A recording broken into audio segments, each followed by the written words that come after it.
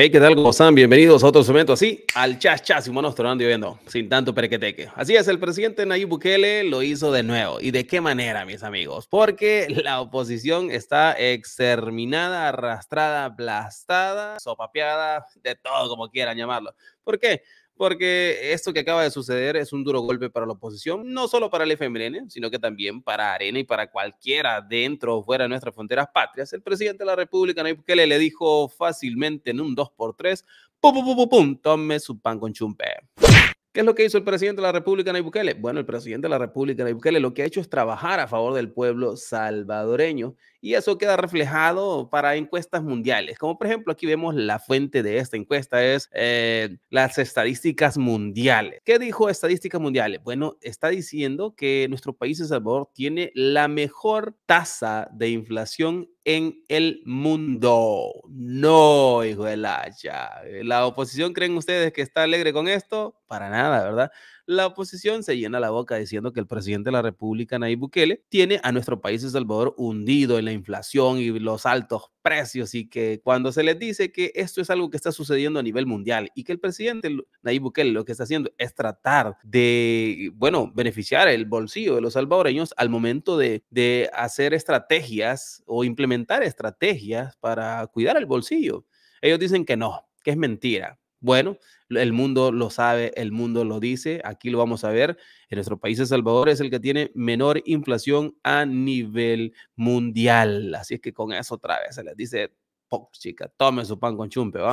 Se las deja ir con doble trompón y triple patada al pecho. Todita. Vamos a ver entonces cómo, aquí están viendo la imagen, ustedes, aquí no hay donde mentir, ¿verdad? Dice, Argentina tiene un 209 de inflación, Turquía tiene 49.38 de inflación, India tiene 5.49, Brasil 4.42. Japón 2.5, los Estados Unidos el 2.4 y tiene también a 1.7. ¡Eh! Fue el hacha, ¿verdad, mis amigos? Así es, la UK, el Reino Unido, ¿verdad? Tiene 1.7, ¿verdad? Eh, luego dice que nuestro país, El Salvador, tiene 0.58. Pues, la verdad, cómo le cae como baldada de agua fría. Así creo yo que le cae a la oposición eso, ¿verdad?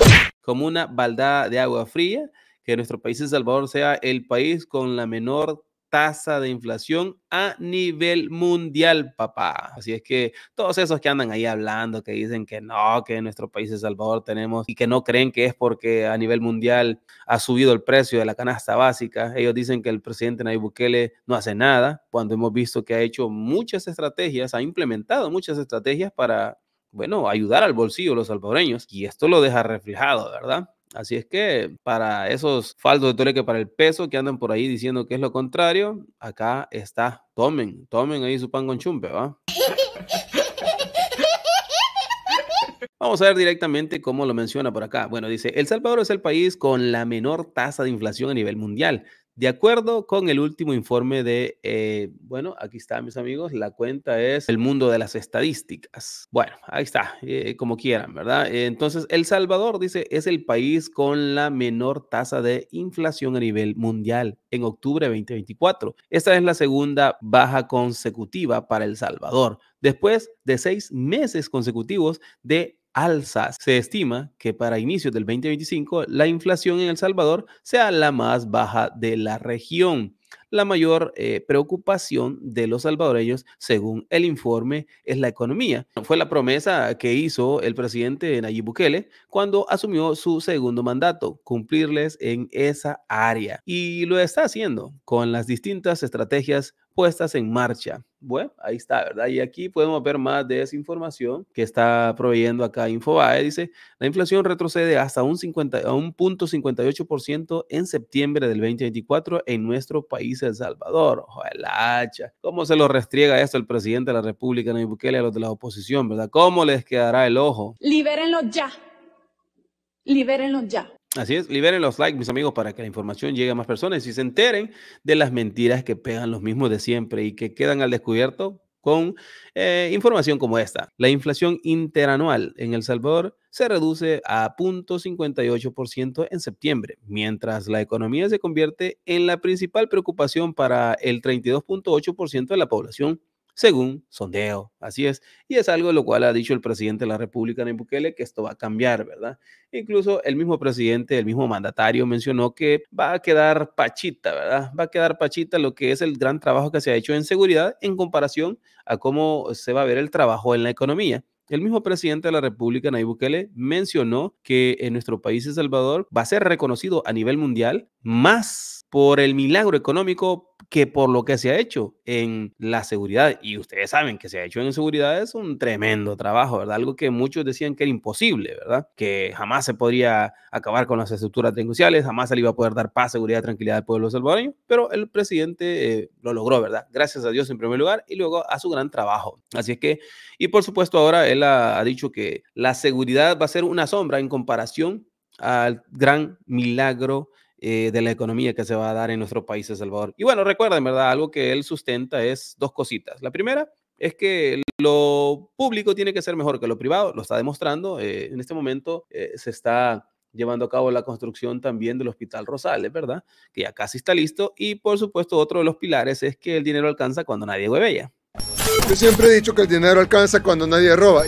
Bueno, eso es uno de los pilares, ¿verdad? Y que está dando resultados en este momento y es por eso que hay ese tipo de informaciones, ¿verdad? Eh, algo más que contribuye a todo este, a, la economía es que se acabó con la delincuencia. Por ejemplo, vemos acá eso que se publicaba en Diario El Salvador y decía más de 8.9 millones de personas hicieron turismo interno. Es decir, ahora la población salvadoreña viaja de, bueno, eh, a nivel nacional, ¿verdad? Ya no se queda encerrada en sus casas, sino que ahora se siente más en libertad, con más confianza, con más seguridad, porque hay ese ambiente de paz, de seguridad, de tranquilidad en nuestro país, El Salvador, no como en los gobiernos anteriores, ¿verdad? Que no se podía salir ni siquiera de las casas, ni siquiera se podía ir a la colonia de La Par. ¿Por qué? Porque era amenazado por las estructuras negociales las personas, no podían, no tenían esa libertad de movilidad y además estaba pensando que o les sacaban las cosas al nomás salían de la casa o les ponían a ellos al movilizarse para otro lugar. Así que era bastante difícil. Por eso dice por acá el diputado Cristian Guevara, los salvadoreños eran presos en su propio país, no podían visitar lugares turísticos ni a su familia porque vivían en zonas ahí contrarias, es decir, estaba la estructura delincuencial del otro bando, ¿verdad? Este milagro en la seguridad permite la reactivación de la economía en nuestro país, así es la economía local y familiar, y por supuesto que atraerá también inversión, ¿verdad? De las empresas internacionales, porque ahora ven un ambiente de paz, de seguridad y tranquilidad y no van a exponer sus capitales a que vengan y, y los vayan a rentar o algo así, ¿verdad? Eso ya es cosa del pasado. Si es que todo esto es gracias a Dios, eh, en primer lugar, y luego el gran trabajo del presidente de la República, Nayib Bukele. Gracias a Dios, dice por acá, por este nuevo El Salvador. Ahí tienen, ¿verdad? Y por supuesto, por ejemplo, veamos cómo es que ahora la población sale libremente en los fines de semana o cualquier día, ¿verdad? Pero ahora tienen, incluso el presidente Nayib Bukele ha llegado al grado incluso de crear eh, centros de recreación para la población salvadoreña, para, de sano esparcimiento para ellos y sus familias. Por ejemplo, vemos acá, salvadoreños disfrutan en el cine al aire libre. Los salvadoreños disfrutan la tarde del domingo en familia en el cine al aire libre. ¿Cuándo se iba a dar esto en los gobiernos de Arena y Femelén y que la población iba a estar ahí tranquila, alegre, feliz, verdad? Disfrutando de una tarde familiar, eh, de una película eh, al aire libre, sin pagar un tan solo centavo partido por la mitad. Podían llevar a sus hijos, aparte se divierten, se recrean, ¿verdad? Tranquilo, mire, pero ¿cuál preocupación ahí? Pues no, o sea, eso es lo que se merecía el pueblo salvadoreño de hace muchas décadas, pero nunca llegó porque los mismos de siempre no querían darle esto al pueblo salvadoreño. Ellos lo que querían era ser ellos los beneficiados, ¿verdad? Y por eso les salía sobrando el, el dar seguridad al pueblo. Ellos eran los que querían tomarse todo, ¿verdad? Pero a todo Chumpipe le llega su 31, así es que ahora el pueblo salvadoreño se encuentra bien. Y los que están mal son los mismos de siempre, pues reniegan a cada rato, ¿verdad? Por eso dicen que el presidente de la República, Nayib está haciendo un mal trabajo. ¡Qué paloma! Cuando el pueblo salvadoreño sabe que es todo lo contrario. Así que ahí tienen, estas son las tardes del pueblo salvadoreño, ¿verdad? Y y pueden encontrar los horarios de estas películas, las cuales pueden ir a disfrutar junto con sus familiares, amigos, hijos, eh, vecinos, con quien quiera que sea, ¿verdad? Y totalmente de choto. Una cosa hermosa. Bueno, Ahí está, mis amigos. Así es que, ¿qué piensan ustedes? Y por supuesto, la cereza del pastel, como siempre, el día de ayer fue otro día más con cero homicidios a nivel nacional. Ya se acumulan 17 de corrido, continuos. Así es, mis amigos. Así son 17 días continuos con cero homicidios en, en nuestro país de Salvador en lo que va de este mes de octubre de corrido. Increíble, ¿verdad, mis amigos? Cuando en 30 años de Arena y Feblene solo hubieron 5 y de pura chiripa. En el gobierno del presidente Nayib Bukele ya van en lo que es cinco años y fracción, ¿verdad? Y de lo que va de su periodo, eh, tenemos ya 730 y algo de días, ya prácticamente dos años con cero homicidios eh, en días, ¿verdad? No de continuo, pero sí acumulados. Y ahora, en este mes, en el mes de octubre, ya llevamos 17 días con cero homicidios de continuo, de corrido, para dolor y ardor de la oposición. Muy bien, mis amigos, acá está, esta es la información que yo tenía preparada para este momento para ustedes, por lo cual, si ustedes quieren dejar su like y compartir, hágalo. De esta manera, esta información va a llegar a muchas más personas, quienes se van a informar, así es, le van a sacar el beneficio, el lucro a esto, porque la oposición no se lo va a poder bajar. Bendiciones. Hasta la próxima. Que Dios me lo bendiga a todos.